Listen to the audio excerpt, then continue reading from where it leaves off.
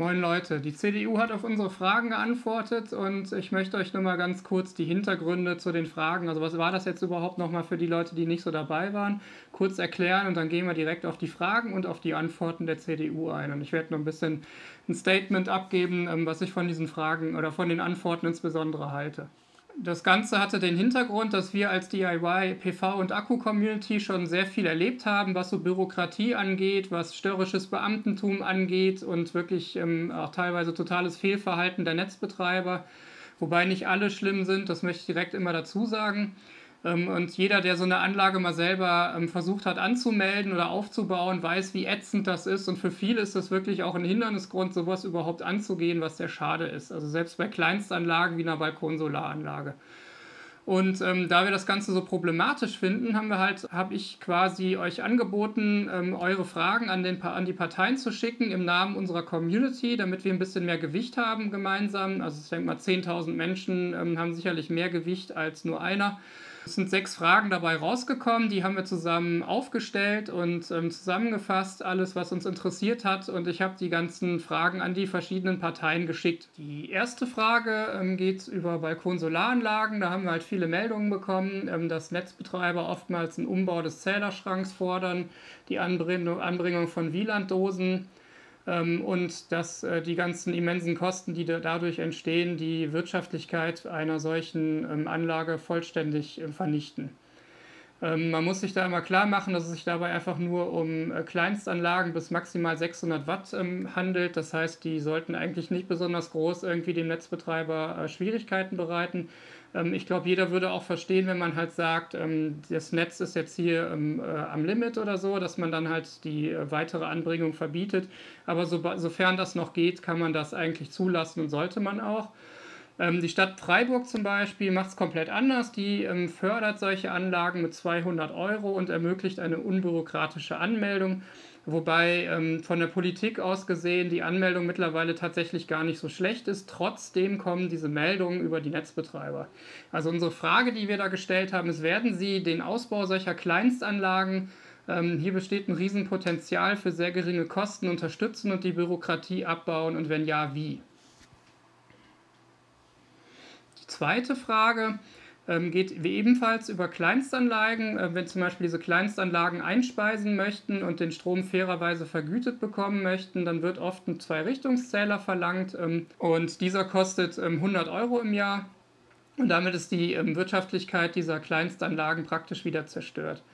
Ähm, hier ist die Frage, werden Sie hier etwas verändern und den Menschen einen echten finanziellen Anreiz bieten, solche Anlagen aufzustellen? Ähm, hier spielen wir besonders auf Länder wie die Niederlande an, die das zum Beispiel mit rückwärtsdrehenden Stromzählern machen und das war es auch schon. Ja? Also damit ist die gesamte ähm, äh, Abrechnung äh, mit dem Staat eigentlich schon durch. Also sehr, sehr einfach, unkompliziert und unbürokratisch. Also es ist möglich. Und viele andere Länder gehen auch diesen Weg. Das ist äh, in Deutschland wirklich besonders kompliziert. Die dritte Frage geht über Inselanlagen, ähm, Off-Grid-Anlagen. Das sind quasi Anlagen, ähm, die mit einem Batter großen Batteriespeichern und entsprechend vielen PV-Modulen das Haus oder ähm, die Wohnung ähm, autark oder teilautark betreiben also welche das öffentliche Netz quasi nur noch als Backup verwenden, wenn kein Solarstrom mehr geliefert wird und der Akku leer ist. Ja, ansonsten sind die, die Systeme, also das heißt PV und, ähm, und öffentliches Netz, vollständig getrennt, also wirklich komplett getrennt. Da gibt es keine direkte Verbindung eigentlich. Ne? Und ähm, da haben wir auch ähm, leider Berichte vorliegen, dass da auch ähm, Netzbetreiber, ähm, auch ich war davon betroffen, tatsächlich ähm, die Anmeldung praktisch unmöglich gemacht haben und im Marktstamm-Datenregister, wo man die ganze Geschichte anmelden muss, ähm, was auch eigentlich kein Problem ist, es dort anzumelden. Ähm, gibt es aber keinen Eintrag oder kein erleichtertes Verfahren für solche Anlagen. Und da ist unsere Frage, werden Sie sich dafür einsetzen, dass solche Anlagen ein vereinfachtes Anmeldeverfahren bekommen? Und ähm, in meinen Augen sollte ein bloßes Eintragen im Marktstammdatenregister vollkommen ausreichen und der Netzbetreiber hat hiermit dann nichts mehr weiter zu tun. Die vierte Frage ähm, geht um ähm, Lithium-Akku-Recycling. Ähm, hier ist einfach so, dass damit katastrophal mit, mit den Ressourcen umgegangen wird. Ähm, der Witz ist halt, wir können eigentlich Akkus sehr gut recyceln, aber wir tun es immer noch leider zu einem sehr geringen Anteil und die Gesetzeslage ist da halt auch einfach wieder absolut katastrophal. Also beispielsweise ist es, ähm, wenn man einen, ähm, einen E-Auto-Akku recyceln möchte, ähm, ist das Problem, dass das irgendwie zum Beispiel, ich glaube im Moment ist, liegt es bei 50 Prozent die Recyclingquote, die vorgeschrieben ist, aber der Massenanteil. Und leider zählt dazu halt auch das Gehäuse und alle anderen Teile und das heißt halt irgendwie unterm Strich wird halt wirklich wenig recycelt und unsere Recyclingrate in Deutschland ist auch schlecht.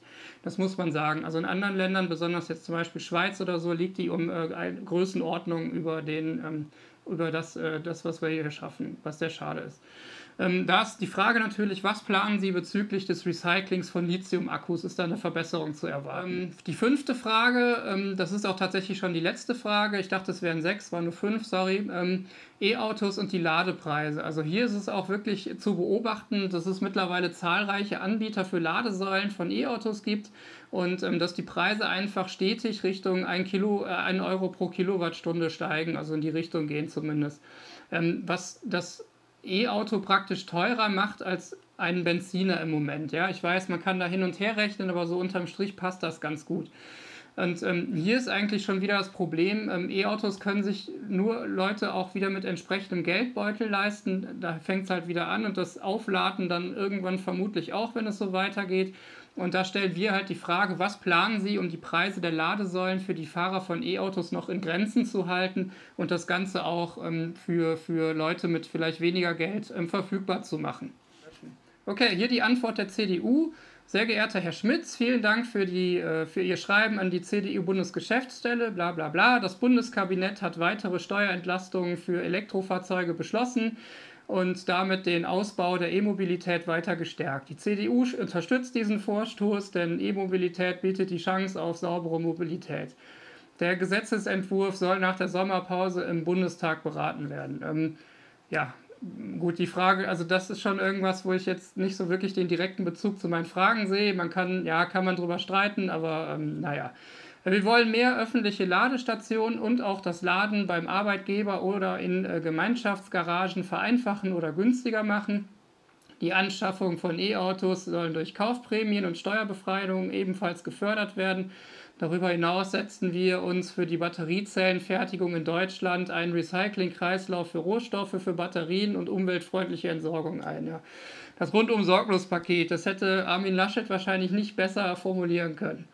Ähm, CDU und CSU wollen aber auch weitere Antriebsarten ähm, fördern und sauberer machen. Ähm, hierbei setzen wir auf moderne Power-to-Gas-Ansätze, die Brennstoffzelle, Wasserstoffantriebe und eine stärkere Erforschung von Biokraftstoffen. Ähm, okay, also einfach mal alles aufgezählt, was es möglicherweise irgendwann mal gibt. Das ist schön. Ähm, ist leider sehr unkonkret, trotzdem in Ordnung, okay. Ähm, die Mobilität der Zukunft ist ein Beitrag unter ähm, vielen für den Klimaschutz und ähm, im Rahmen unseres Klimadialogs und da kommt jetzt noch ein bisschen Geschwafel. Ähm, dann verweisen Sie auf die Seite klimadialog.cdu.de. Tatsächlich ähm, gab es die nicht, in, äh, als ich die damals aufgerufen habe. Da kam ein Error auf der CDU-Seite. Mittlerweile ist sie verfügbar, sieht fürchterlich aus, aber funktioniert zumindest.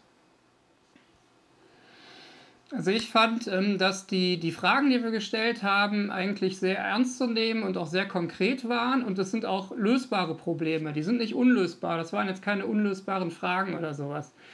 Und ähm, ich denke, dass die einer erfolgreichen Energiewende, ähm, dass die extrem wichtig wären, diese Probleme anzugehen, die wir da angesprochen haben. Gerade Bürokratie und so weiter ist sicherlich ein Thema, was irgendwie viele Leute einfach immer abschreckt und mich auch. Ich finde das schrecklich. Also das ist irgendwas, wo man dann schon wirklich von Anfang an einfach keinen Bock mehr hat, sowas anzugehen. Und ähm, daher ähm, wollte ich einfach nur wissen, inwiefern die Parteien diese Probleme ernst nehmen und die überhaupt auf den Schirm haben und ob die überhaupt Ahnung von der ganzen Thematik haben. Deswegen diese konkreten Fragen. Und mir ging es auch darum zu wissen, ob die Parteien überhaupt so eine YouTube-Community äh, wahrnehmen und ernst nehmen. Auch das ist ähm, keine Selbstverständlichkeit leider. Ich meine, letzten Endes sind das einfach immer ein paar tausend Leute oder noch mehr, die da irgendwie dahinter stehen und Fragen haben und Fragen beantwortet bekommen wollen. Und ich finde, da hat man auch ein Recht darauf. Und natürlich ähm, gibt es für all die ähm, Probleme, die ich genannt habe, auch wirklich Lösungen. Das ist alles nicht unlösbar, was wir da gefragt haben. Ähm, deswegen ist es für mich so ein bisschen so, dass ich die Antwort der CDU jetzt sehr, sehr enttäuschend fand. Ähm, fast schon ein bisschen peinlich, weil die Antwort eigentlich nur sehr indirekt was mit den Fragen zu tun hatte. Ich fand, wir haben sehr konkrete Fragen gestellt. Auf die E-Autos wurde ein bisschen eingegangen, aber auch nur mit, ähm, wie ich fand, ähm, sehr, also Palaver. Ich sag's einfach mal so. Und ähm, das finde ich sehr, sehr, sehr dünn. Also das, für mich war das eine sehr dünne Antwort. Und ich glaube, die Antwort ist folgendermaßen entstanden. Da war äh, der Mensch, der das jetzt hier beantwortet hat, und hat sich dann so gedacht, ey, hier ist wieder so ein Umwelt-Greenpeace-Peter-Idiot, ja, so Tiere und Klima und so ein Scheiß, ja. Der fängt gleich an zu heulen, ja. Hol mal den äh, Klimaspinner 0815 Standardantworten-Katalog, ja. Der muss irgendwo zwischen äh, den maximalen Bürokratie für Dummies irgendwie stehen und dem Katalog für Wirtschaft und Industrie braucht keine Menschen-Katalog, ja. Und dann hat er sich wahrscheinlich am Ende gedacht, ach, was soll's, die sind ja eh alle dumm und rauchen Gras, also schreibe ich einfach selbst was. Und entsprechend ist auch die Antwort. Also ich fand das ähm, dünn, peinlich und ähm, ich fühle mich nicht ernst genommen und ich habe auch nicht den Eindruck, dass die wirklich, also bei der Antwort habe ich nicht den Eindruck, dass die wirklich verstanden haben, wo da die Probleme liegen. Für mich war der größte Punkt die Bürokratie und ich fand, wir haben das sehr konkret angesprochen und das wurde überhaupt gar nicht erwähnt. Und das ist einfach nur, nur traurig und armselig in meinen Augen. Ähm, und äh, ich werde jetzt ganz bestimmt die CDU wählen. Ich war vorher schon wahnsinnig begeistert von dieser Partei, ähm, wie sie einfach Braunkohle und alles über Jahrzehnte hinweg jetzt über, über absolut alles gestellt hat, obwohl schon wahnsinnig lange klar ist, dass das eine Katastrophe ist. Und jetzt wird da geheuchelt bis zum geht nicht mehr. Und ähm, ja, also äh, mein, meine, meine Wahl wird es nicht sein. Ähm, wie gesagt, ich möchte jetzt auch niemanden auf die Füße treten. Ähm, ihr dürft natürlich frei wählen, wie ihr wollt, aber ähm, falls ihr mit an diesen Fragen gearbeitet habt, dann war das sicherlich echt ein Schuss in den Ofen. Ähm, die SPD enthält sich wie immer. Ähm, ja, ist traurig, dass man damit anscheinend auch hier irgendwie gut Politik machen kann, indem man einfach gar nichts sagt. Ähm, ja, die Grünen kommt nächste Woche. Ja, die Antwort ähm, war überraschend positiv ähm, oder zumindest war es eine Antwort. Ja, es wurde jede Frage beantwortet. Da dürft ihr drauf gespannt sein. Ich fand es okay. Ja, also auch nicht perfekt, aber ähm, es war immerhin mal eine vernünftige, ernstzunehmende Antwort und bisher die einzige, die ich bekommen habe. Ja. Also ähm, wartet gespannt auf das nächste Video. Ähm, dann kommen die Grünen dran und ähm, wie gesagt, ich hoffe, dass euch das ein bisschen besser gefällt. Macht's gut und bis zur nächsten Woche.